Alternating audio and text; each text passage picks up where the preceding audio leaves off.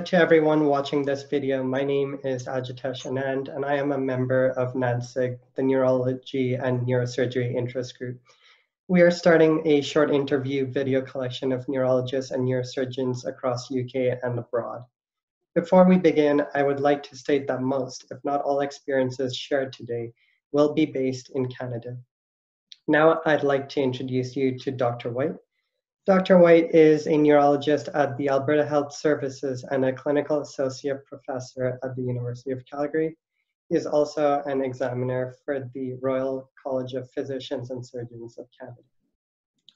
I was. I'm not anymore Ajitesh. I've uh, okay. finished my term there, but I have performed in that role. Yes. All right. Well, how are you doing? Well, thanks. Yeah. Uh, well, thank you for having accepted our request to be interviewed, especially during these uncertain times. Oh, no worries. It was kind of exciting to be asked. I think that being a neurologist is an awesome thing. So happy to share my experiences and if there are other people who are interested in it, they may be interested in hearing about it. Shall we begin with the questions then? Sure. Okay. So firstly, could you please tell me a bit about yourself? Like where did you grow up? What did you study at university? And which universities did you study at? Sure. It's a little bit longer question. I was born in England, actually, and moved to Zambia when I was a little kid. Moved uh, back to England and then moved to Canada at age seven. So I got a lot of that travel done quite young.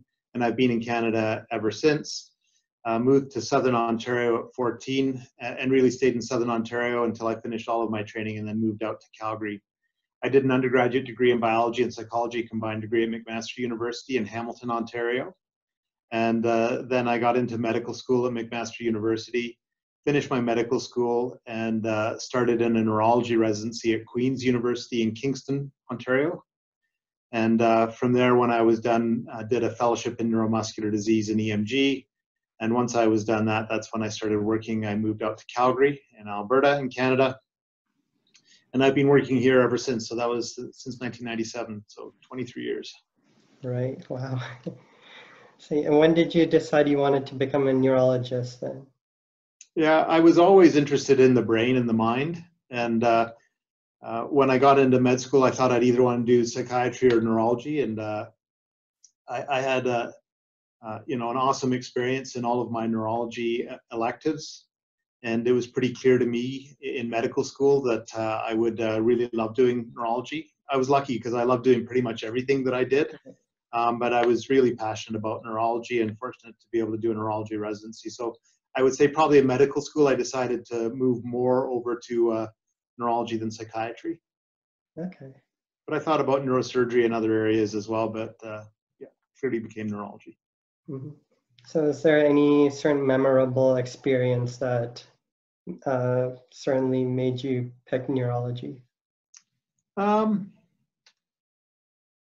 I love the thinking part of it. So it's funny. What made me pick neurology is perhaps not what make. I, I love all of that part of it, but perhaps not what makes me love it so much now. But um, but I, I always love the intellectual side of things. I love the importance, and I still love the importance of the history and the physical examination. Uh, those parts are, you know, the history is probably more important in psychiatry, but probably in no other area of medicine. And the physical examination, I, I think it is, you know, the more in all the areas of medicine, the physical exam is the most important in neurology. Uh, it's so eloquent. And then the sort of tying together the history and the physical first to localize the problem and then trying to understand what the problem is and then take it from there. So that, those parts I, I loved as a, as a medical student and I continue to love to this day for sure. So it was probably those things that were the things that sparked, sparked me the most in terms of wanting to be a neurologist. Mm-hmm. So you really enjoyed your education days and really reinforced. I did. I loved loved medical school and uh, loved my yeah. I loved all of it. Right. Was any part of it stressful, or did you find any part of your career later on stressful? Yeah, there for sure is stress. It's a lot of work. It's always a, a lot of work. Although I would say that when you get into your own career, you've got more control over that kind of work. As a medical student, or a resident, you have very little control over how much work you're going to do um, as a staff person. So the volume of work and just being busy can, can be stressful. I've been very lucky to have a, a very supportive wife and family, and that helps me with uh, those sorts of things, I would say. Um, but you know, my temperament is such that stress hasn't been a huge thing for me. Um, and so I've been lucky that way, but the, the volume of work can be uh, significant for sure. Right.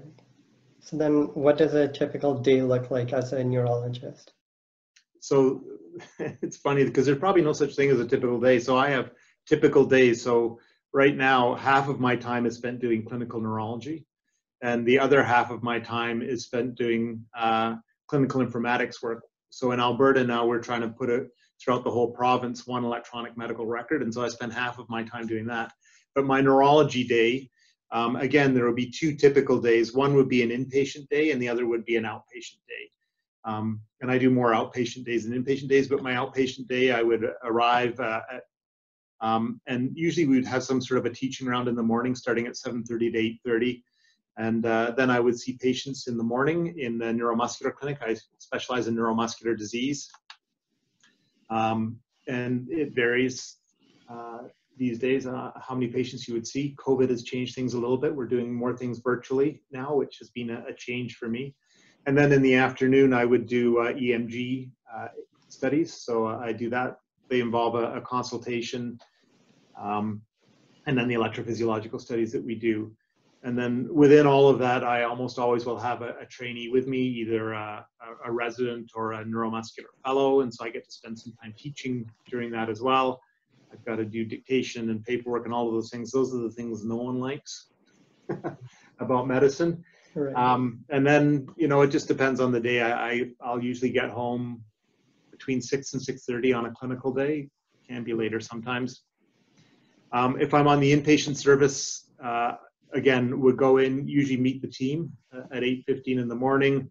Uh, we may have uh, rounds or uh, sign over rounds or something we call rapid rounds where we'll review quickly with the nursing staff and the other people, the patients that we would see. And then we will go and do ward rounds and see the patients. So go around and see all the patients on the service. Um, and that would be to do two things. One, to address their clinical needs and two, to help uh, learn from those cases with the medical students and residents on the team. Uh, we can go and see consults on other services or down in the emergency department. And those days are, really variable. You could get, could be done by five or you might not be done and, and home until significantly later on those days. So those would be sort of my two typical days. Okay. Right. And so has anything changed in the field of neurology then from the time you graduated to about present time? Probably the biggest thing in, in my area, there have been two really big things I would say. The, the first has been the advent of uh, genetics. So um, being able to do exome sequencing uh, on my population of patients has made a huge difference into um, how easily we're able to make a diagnosis in patients with genetic diseases. So that, that's been a big difference.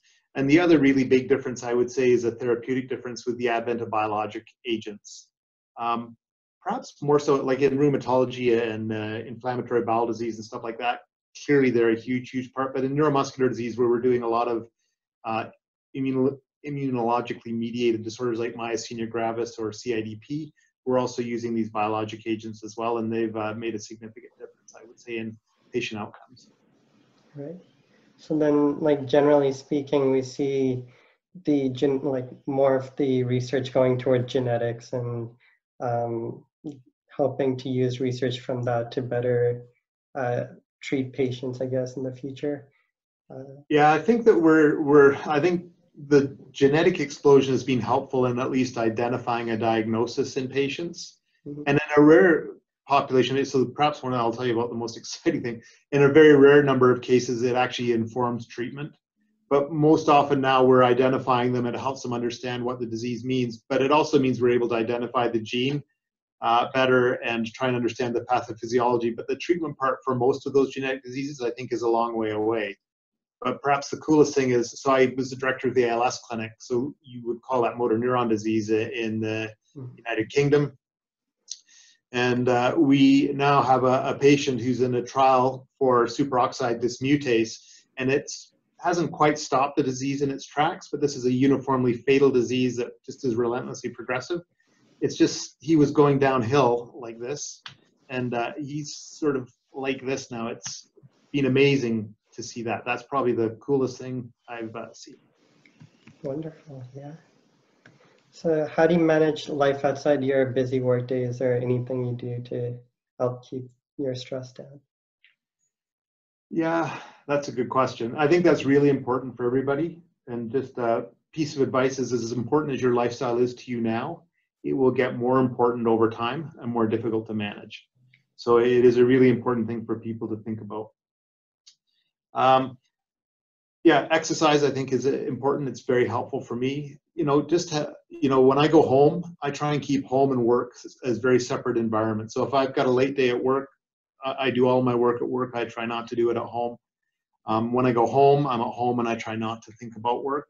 Um, I've got a, a, supportive wife. I've got my kids. They sort of ground me in things that are important. Uh, one thing I haven't done well, which I think is important, is to try and cultivate other interests outside of medicine. Uh, I think that's a difficult thing for uh, some people to do, uh, but I think it's an important thing to do. And I wish I'd done a better job at that, I would say. Yeah. So, there then any particular skills within the field of neurology that are beneficial, like um, being time efficient or that kind of? Um, yeah, I mean, being time efficient, I think is helpful for for everybody, mm-hmm. for sure. I think being uh, being thoughtful um, and trying to put everything together into the context of the patient, I think is important. Like it's one thing to have a long differential. It's one thing to be able to identify something on an examination, but it's another thing to try and integrate all of that into what it actually means for a patient.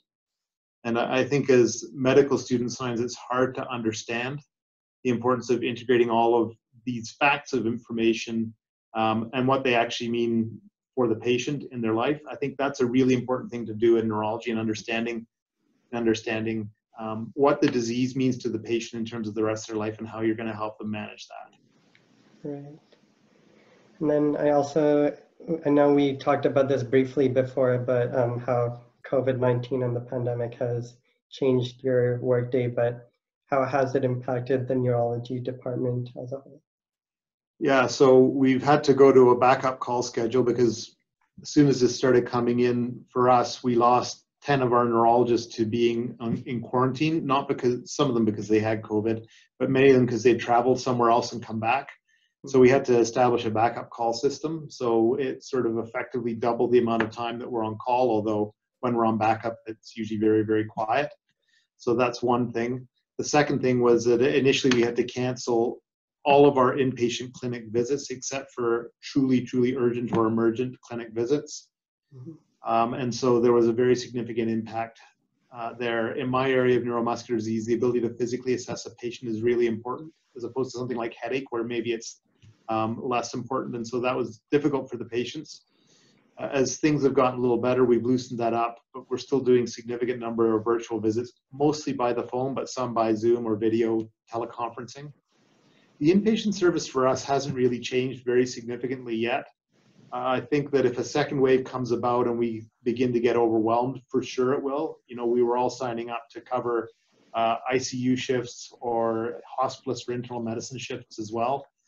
Um, so that that part, you know, hopefully that will stay away, but it could be an issue for us in the future. But we were mercifully pretty well prepared um, in Alberta Health Services for this, and so it didn't really affect our inpatient service much, except the gowning and the doffing and donning and all of that stuff. That made you certainly less efficient.